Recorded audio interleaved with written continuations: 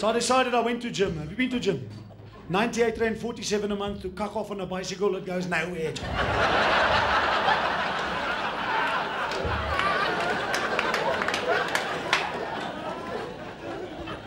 I pedal as fast as I can in freewheel.